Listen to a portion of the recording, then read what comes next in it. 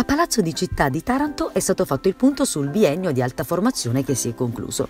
I partecipanti hanno lavorato con le eccellenze del territorio. Si tratta di un percorso biennale di 2000 ore, di cui la metà sul campo. Tanti giovani diventano imprenditori dopo questa specializzazione, proponendo al territorio i servizi mancanti. È un sistema che consente di trovare occupazione per oltre il 98% dei diplomati.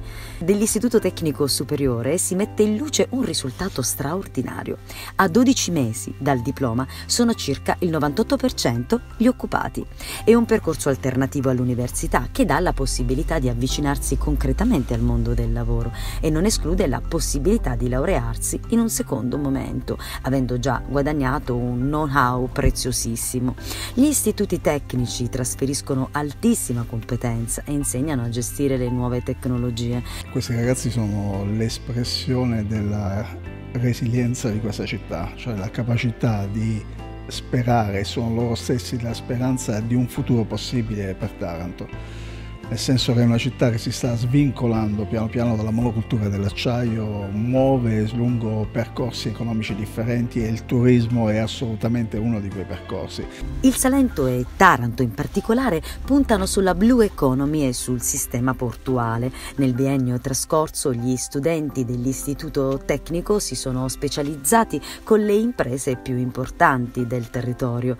Giuseppina Antonaci, presidente della fondazione ITS, spiega spiega che in un'epoca di grandi trasformazioni tecnologiche gli istituti tecnici superiori giocano un ruolo decisivo nella formazione terziaria professionalizzante per il sistema produttivo e le aree tecnologiche strategiche nazionali ed internazionali, consentendo di realizzare modelli di sviluppo delle competenze, conoscenze e abilità funzionali al mondo del lavoro, attraverso un'offerta formativa fortemente correlata a un reale bisogno delle aziende. Noi quest'anno abbiamo chiuso eh, gli ultimi quattro percorsi, sui primi eh, due abbiamo realizzato un placement del 98% e quindi praticamente eh, diciamo che solo due ragazzi, ma perché si sono iscritti e hanno proseguito l'università, eh, non sono attualmente occupati, eh, altrimenti grazie a Dio tutti quanti hanno trovato la loro strada.